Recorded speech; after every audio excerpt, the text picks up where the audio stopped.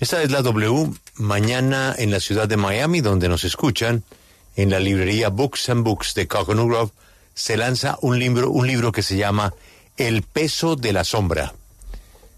Resulta que la abogada de Martín Sombra, bueno, la abogada que también sacó un libro con otro de sus clientes, Carlos Leder, comenzó a hablar hace muchos años, muchos años, con Martín Sombra para tratar de construir su historia.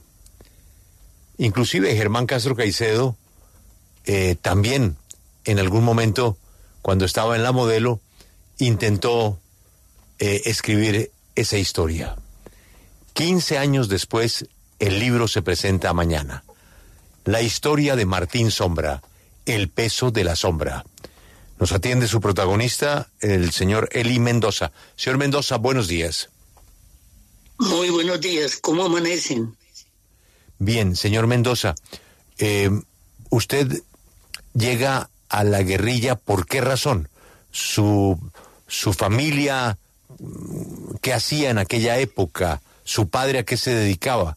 ¿Por qué entra usted a ser acogido por Manuel Marulanda, que pues prácticamente lo adoptó como un hijo, fue su, su padrino? ¿Cómo comienza esa relación suya con las FARC?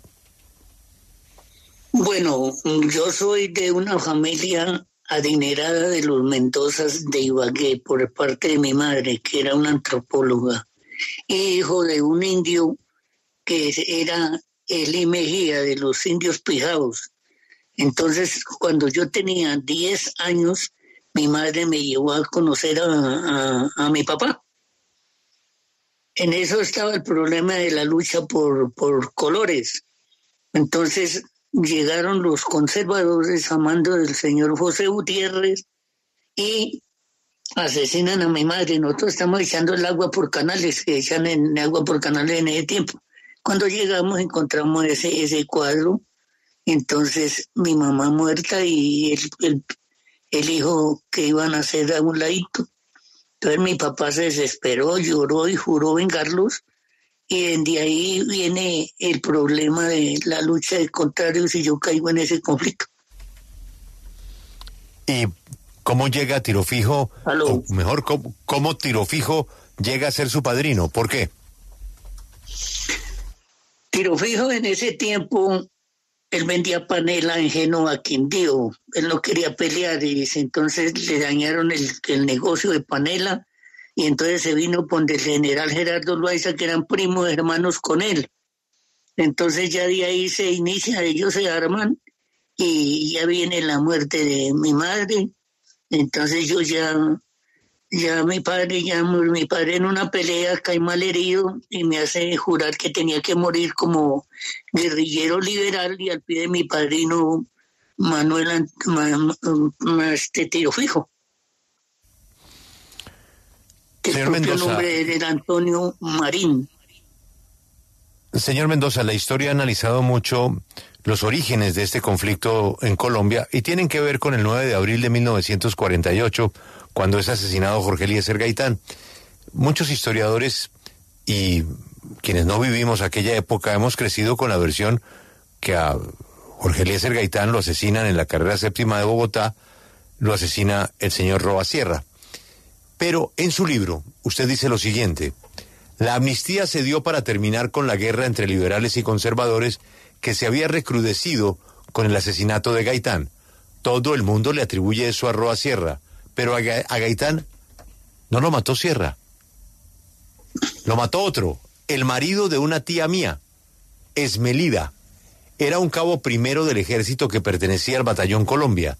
Antonio Arango Duque se llamaba y lo mató con un revólver 38. Yo después estuve infiltrado en el ejército con esa chapa, con ese nombre. Y además usted hace una relación a la relación que podría tener con ese crimen un, el líder conservador de esa época, Laureano Gómez. ¿Usted cómo puede sustentar esa versión del crimen de Gaitán? No, el crimen de Gaitán, lo que, lo que se sabe es lo que le estoy diciendo. Él no lo mata a Roda Sierra, que es uno que lo cogen ahí lo linchan. A él lo mata Antonio Arango, Duque García, un cabo primero del ejército. como estaban en la lucha de contrario, pues ahí ese es el que, el que mata al doctor Jorge Líder Gaitán. Vamos, la tercera, la tercera es la vencida. Señor Mendoza, ¿me escucha mejor? Ahí te estoy escuchando al ciento. Perfecto. Usted ya nos dijo que el esposo de una tía suya es el que mata a Gaitán. ¿Quién le ordenó al señor Antonio Arango Duque matar a Gaitán? Eso sí no, no, no, no, no puedo concisar, no sé que él lo mató. Pero como en ese tiempo estaban en la lucha de contrarios liberales y conservadores, pues fueron los conservadores. Pero esa es una suposición suya, una conclusión suya que no tiene ningún soporte. No, no, suposición, señor. Cuando eso estaba en el problema de los liberales y los conservadores, y Gaitán era un líder que estaba hablando sobre los liberales. Inclusive hay un, un, un una vaina que hizo Gaitán cuando los lavaderos para las señoras. Entonces, como le estorbaba a los conservadores, lo mandaron a matar con Antonio Arango Duque García, que era un cabo primero del Batallón Colombia. Usted dice que en un capítulo con la autora que se llama Sondra McCollins, repito, es una abogada y analista, dice lo siguiente, Sondrita, Uribe nos había hecho 10 bombardeos, estaba empeñado en hacer un rescate a sangre y fuego, y no le importaba la vida de los retenidos. Si usted me pregunta cómo nos salvamos todos de 10 bombardeos, no le tengo respuesta. Supongo que Diositeo y el diablo nos ayudaron, sin embargo, cuando las cosas se pusieron más difíciles, a mí me los quitaron, los dividieron en grupos.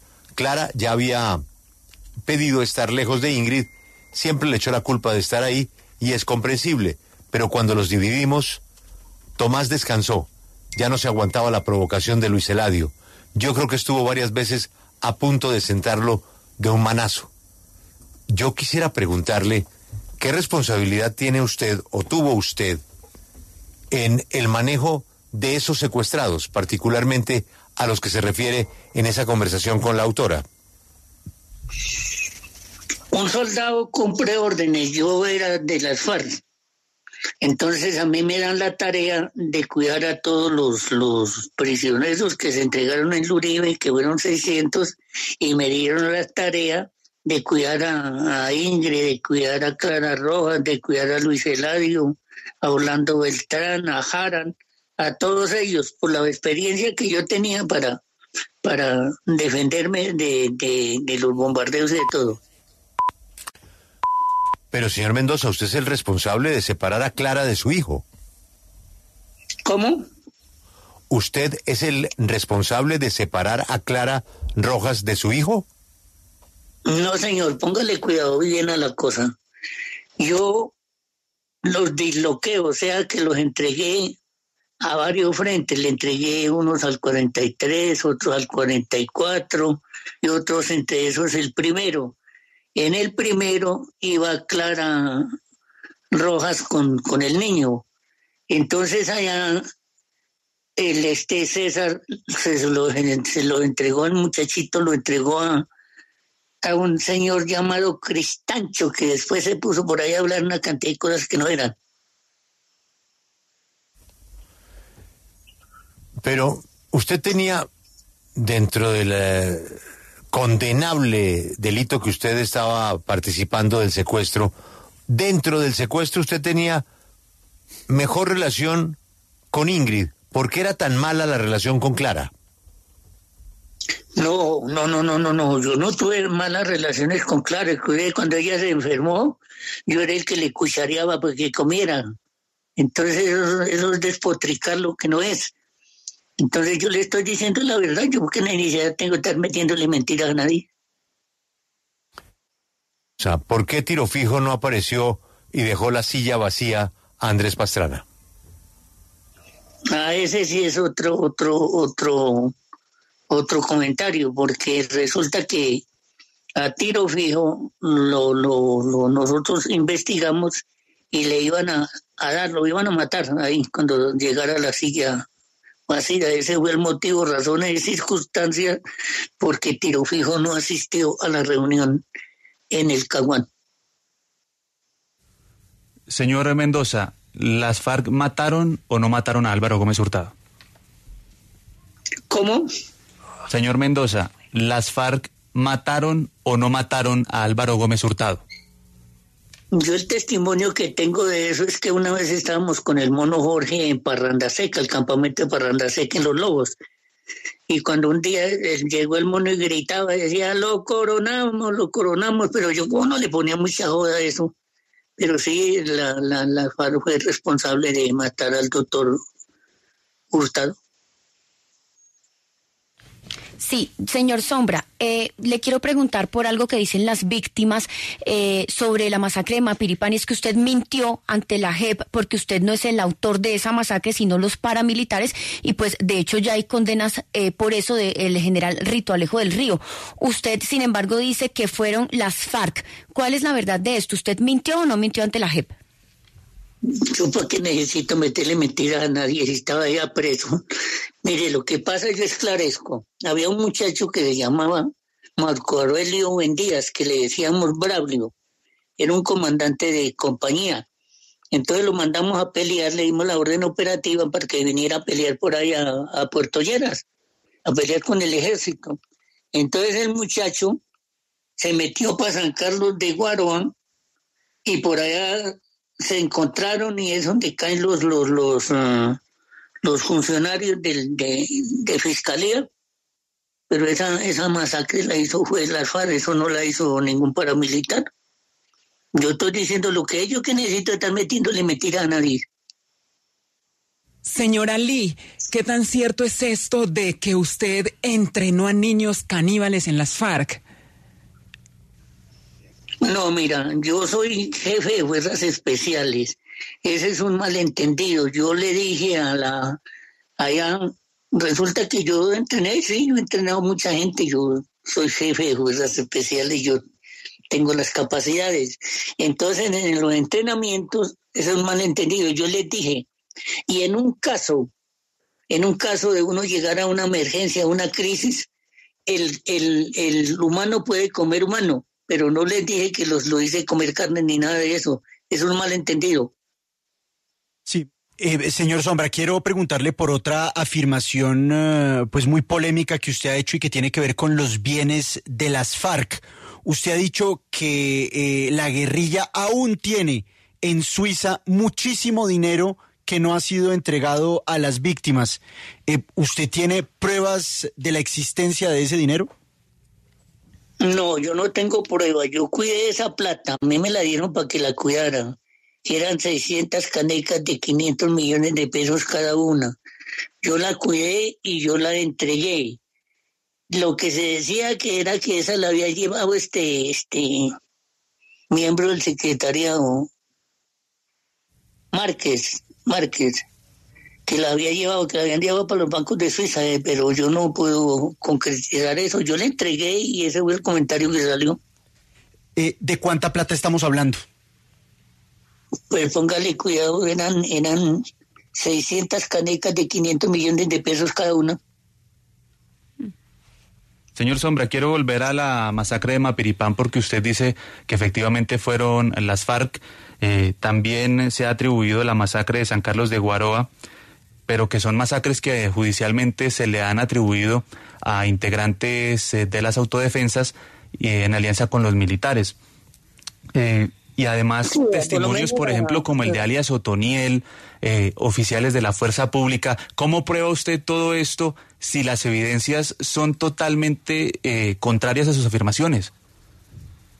Pues yo digo lo que yo que necesito estar metiendo mentiras por más de lo enredado que mantengo. Entonces, por lo de San Carlos de Guaroa, exclusive ahí iba al mando Wilson Rincón, que lo hieren y sobre diabetes y muere. Ahí va una muchacha Mayerle y también en la, confrontación con los, con los que mataron ahí, también murió y murió un muchacho Jaime. ¿Yo para qué me voy a poner a meter en mentiras? Eso fue así, lo que los, ya los otros se atribuyen y eso ya es vociferaciones para sacar beneficios. Señor Eli Mendoza, algunos de los miembros del secretariado de las FARC están hoy en el Congreso de la República. ¿Usted podría contarnos si alguno de esos miembros del secretariado abusó de menores de edad estando en las filas? Hombre, lo que pasa es que hay una cantidad de cosas. Eh, está el que, pues usted tiene un enemigo vocifera de él y usted el otro de usted. Pero yo lo que sé de eso, ahí había un reglamento. Y el que, el que se metiera y violara el reglamento le podía dar fusilamiento. Entonces yo no sé de dónde, de dónde se sacan ese, ese cuetecito. Señora Lee, retomando eh, lo que les decía usted a Julio hace un momento sobre el tema de Clara e Ingrid, ¿qué fue lo que eh, dijo Cristancho que no era cuando se le entregó el hijo de Clara? Pues él por lo menos es que es que el hijo de la selva, que no sé qué, yo lo único que escarezco que yo lo entregué al primero. Ahí el que tiene que responder es eso. Señor Mendoza, después de tantos años de criminalidad de su parte, ¿usted duerme tranquilo? Hombre, yo el único que, que, siempre he estado con él desde pequeñito, era de los 10 años, el, el Señor Jesucristo Todopoderoso. En las guerras y donde sea, siempre mantenía comentado. Yo duermo tranquilo. Sí, yo le quiero preguntar por la relación con Venezuela cuando usted estuvo en la guerrilla, porque usted viajó a Venezuela y quiero saber con quién se reunió allá y si es verdad que usted estaba ayudando al expresidente Hugo Chávez. Sí, nosotros, yo viajé a Venezuela a hacerme una limpieza de una rodilla y allá me contacté con los milicianos de, de Venezuela. Había un muchacho Alejandro y otro que llamaba Pacho y otro que llamaba Carlos, que vivía pues en Casuarito, por ahí en, ese, en, un, estado de allá. Y estuvimos, estuvimos ayudándole a, Chávez para, para, para montarlo al poder. En el primero fracasamos por comunicaciones y en el segundo lo montamos. Señor Mendoza, las FARC reiteradamente han dicho ante la JEP que no era una organización que se dedicaba al narcotráfico y que solamente cobraba impuesto a los verdaderos narcos.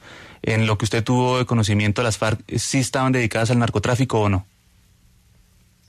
Pues hombre, eso, eso no es una mentira, eso no es una mentira, pampa. Eso es una cosa concreta, por lo menos las FARC vivía de los impuestos que le daban los, los, los chongueros los que la, procesaban. Entonces, entonces ellos recibían plata de ahí. Señora Lee, ¿usted está recibiendo o recibió acompañamiento psicológico o psiquiátrico? Bueno.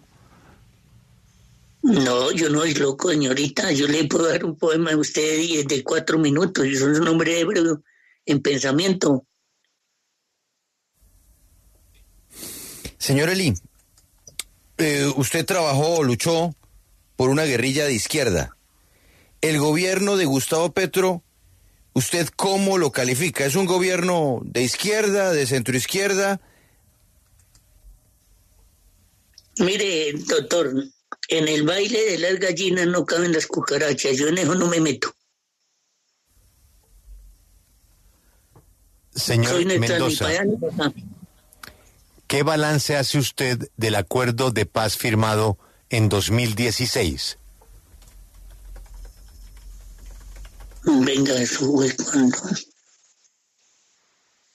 ¿Quién hizo ese acuerdo? El acuerdo lo hace el secretariado liderado por Iván Márquez y el gobierno de Juan Manuel Santos. Y, y Timochenko, Timochenko sobre todo. Ah, y el jefe era Timochenko. Es que Timochenko se nombró comandante de la FARC sin ninguno nombrarlo. Timochenko era un muchacho que lo trajimos y lo pusimos de jefe de la Escuela Nacional de Cuadros Hernando González Acosta dentro en el páramo. Y entonces usted sabe que, que después de que fallece la gente, entonces logran los lucros personales. Por lo menos él se está ganando como 20 millones de pesos en ese Congreso. Yo, que nací en la guerra, a mí, ¿sabe cuánto me está dando el Estado? 320 mil pesos. Eso es mandar a la gente a delinquir.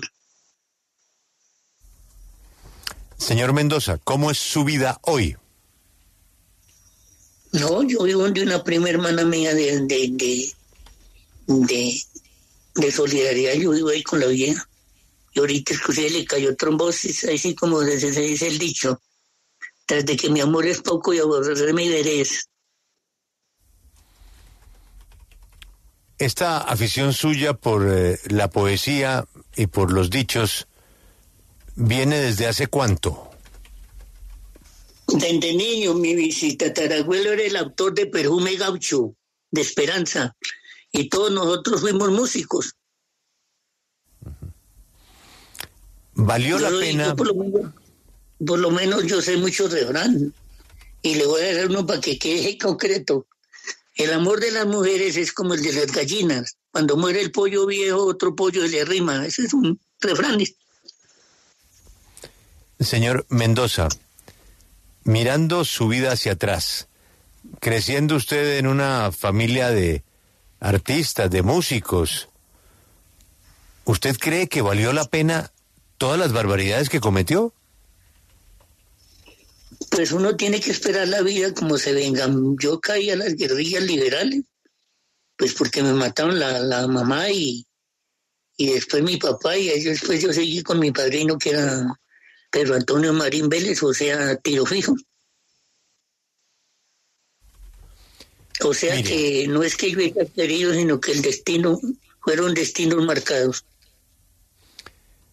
Una compañera nuestra que se llama Catalina Suárez me dice lo siguiente. Lo mejor del libro es que al final, Sondra, la autora, deja que el lector sea el que elija si fue ficción o realidad lo que usted contó en el libro.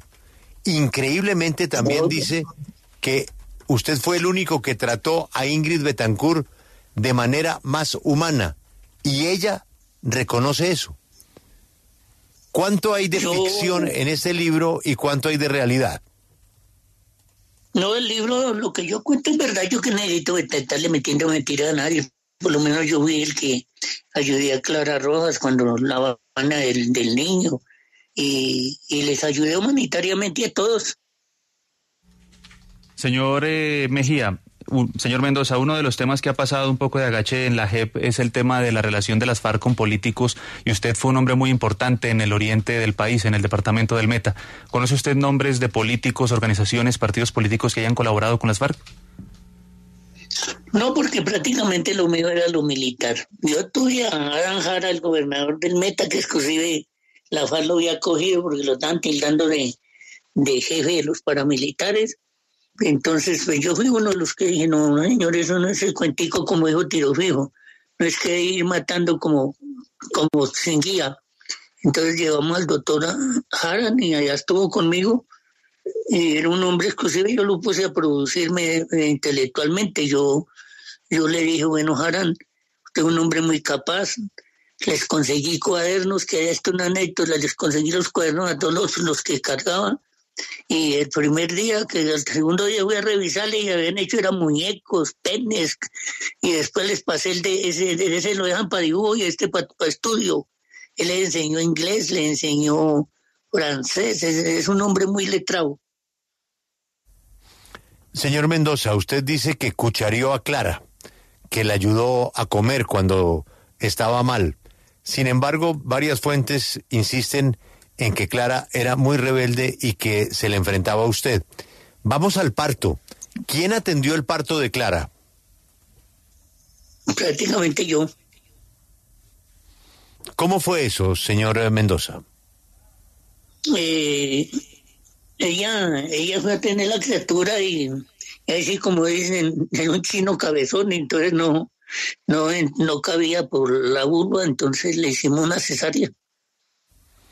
Y lo volvimos, exclusive, yo lo cojo al, niño, yo soy un indio, lo llevo y lo, los antiguo en el charco Caribe y lo vuelvo a la vía y le di coco, una vaina que hacemos los indios que se mete a otro debajo y que se le golpea como a un pollo chiquito y lo volvimos al niño a la vida. Y ella pues también ella estuvo muy mala, no quería comer. Yo, yo le mandaba a, hacer gallinas caldo y todo y le cuchareaba. Eso no es un secreto para nadie. Pero ¿cómo se puede hacer una cesárea en esas condiciones? Es decir, ¿esa fue una cesárea a palo seco? No, compañero, yo soy médico cirujano, empírico, y yo tenía anestesia y tenía todos los implementos, las agujas para coser el nylon. Entonces la gente es potrica que eso es que con un cuchillo, son como bien sotes. Sotes quiere decir ignorante. ¿Y quién amamantó a la criatura? Yo tenía a mi compañera, la sombra, ella le habían hecho una, como a las muchachas que quedan que quedan en embarazo les mandan a hacer de grado, entonces yo estaba peleando para abajo, para, para llano, y cuando llegué ella había quedado embarazada y le había dicho Mauricio Jaramillo, le mandó a hacer el degrado. Entonces las muchachas cuando le hacen un degrado, eh, vuelve a tener leche como si hubiera tenido la criatura, entonces se lo pegamos a, el niño se lo pegamos a Jensi. ¿Quién es Mauricio Jaramillo? ¿A qué Mauricio Jaramillo se refiere usted? Al que está en el Congreso, Mauricio Jaramillo, el, médico de FARC. ¿Mauricio Jaramillo? Sí, señor, ellos están en el Congreso. Está Carlos Antonio Lozada, está Jaramillo, está Timo. y eso es bueno que se sepan las cosas, porque ellos están allá de culi limpio y resulta que ellos tienen una cantidad de cagadas. O sea que usted cree que ellos le han mentido a la JEP. Claro, porque él dice que no los degrados y eso es, eso es positivo, pues para prueba un botón a la compañera mía me le hicieron un degrado. Yo boleando tiros, para, peleando para sacar el pecho por la barra. Y ellos haciendo semejante cagada. A mí me mataron un hijo. Me le sacaron un hijo a la muchacha que es ahí cuando ya yo llego y, le pusimos el, niño a, que lo amamantara ella y ella lo amamantó. Señor, sí, señor Mendoza, usted hoy cuando mira esa, esa guerra, eso, todos esos tiros que echó, ¿cree que la guerra de las FARC era de verdad para cambiarle la vida a Colombia, a los colombianos, a los pobres? o era negocio de los que hoy están en el Congreso?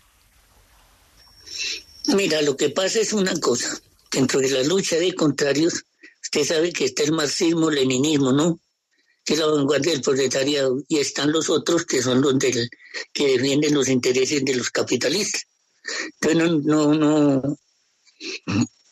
Es una lucha de contrarios.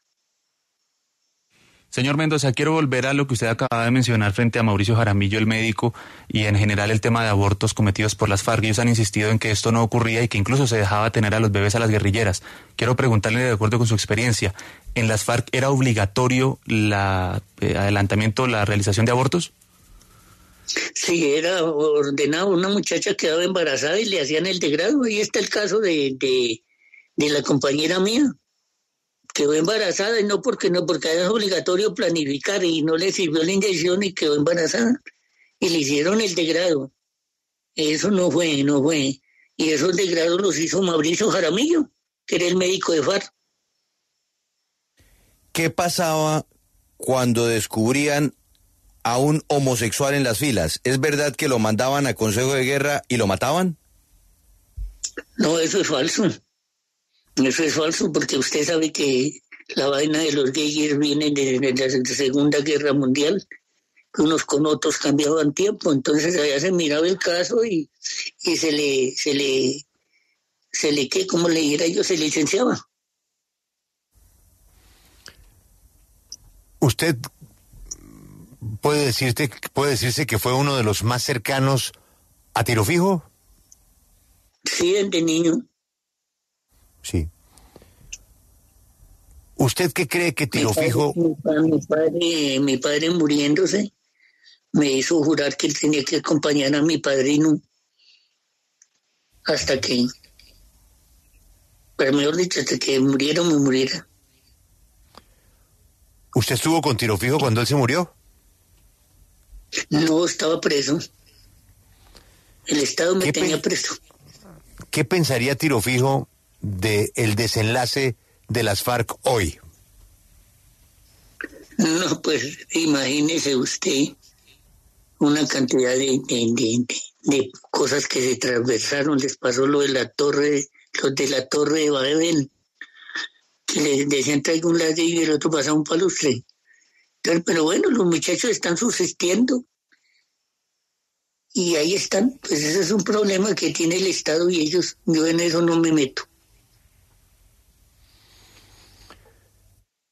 Rosa, pues estaremos muy atentos al lanzamiento del libro. ¿Cómo lo convenció Sondra? En el libro, es muy importante que lo, lean porque está toda la realidad de los conflictos en Colombia y todo. Usted pregunta que cómo conocía a la doctora Sondra. No, pregunto es cómo lo convenció Sondra de lo que está pasando. No, yo fui a. Yo estaba en cómbita y ella fue a. a, a, llevarle el caso a un preso, a un preso y, allí nos saludamos y hablamos. Y ahí yo la distinguí a ella. Y es cuando yo propongo escribir mi historia. Sí. Mire, esta pregunta la hace un colega de RTBC, Holman Morris, que me parece pertinente. ¿Qué pasó con el papá del niño de Clara? ¿Está vivo? Sí, el muchacho lo sancionaron, pero él está vivo. Dicen que está vivo. Yo, como usted sabe, que después de caer uno al coco, como dice el indio, uno se desvincula de todo y lo desvincula. Señor Mendoza, gracias por eh, atendernos.